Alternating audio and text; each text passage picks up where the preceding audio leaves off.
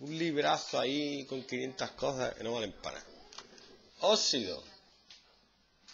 Tú mira el hombre este, la simplicidad ¿eh? de las reglas.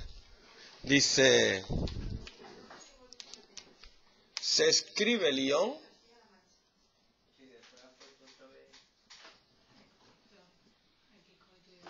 en ico u oso.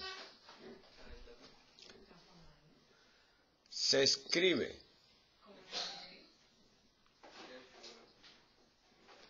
el ión óxido y se igualan las cargas con su índice. ¿Cuántos folios tienes tú ahí para explicarte lo que es un óxido?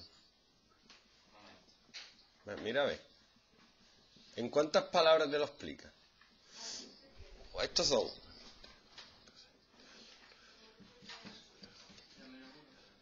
En 19 palabras te enseña hacer óxidos.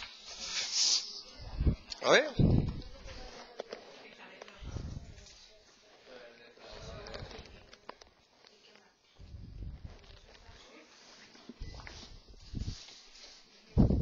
Bueno. Em, ¿Qué significa lo del líquido y lo del oso? Pues yo no sé qué nomenclatura vas a usar tú.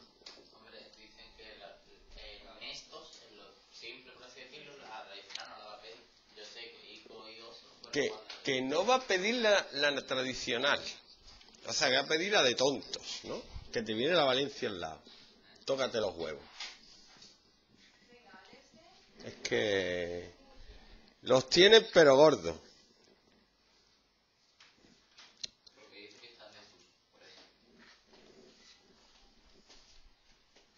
Porque. Porque, hay que estudiar. A ver si me entiendes. Porque si te ponen, hay que pensar, entonces está en desuso.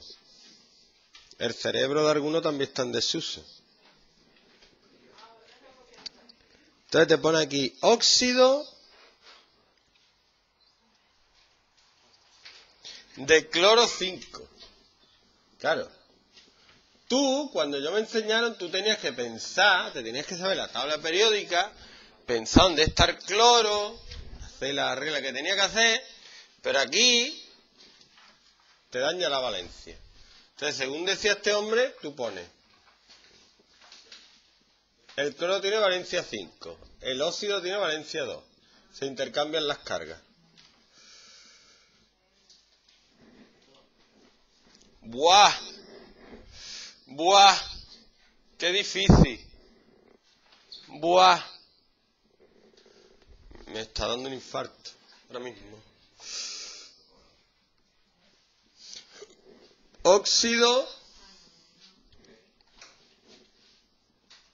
de azufre. Cuatro.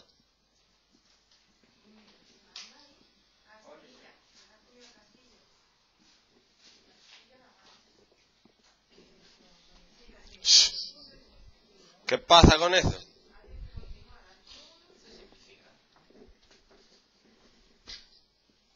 A mí el tío me ha matado, ¿eh? ¿Hay algo más que saber? Sí, ¿cómo se nombran, no? Porque te viene la nomenclatura de stock, que es esa, y la sistemática, que la sistemática es para tonto ya.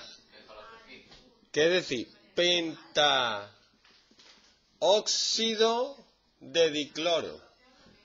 Para aprender esto, que os pongan a escuchar One Direction, Quillo. Que aprovechéis más el tiempo. Es una vergüenza lo de la formulación. Una vergüenza.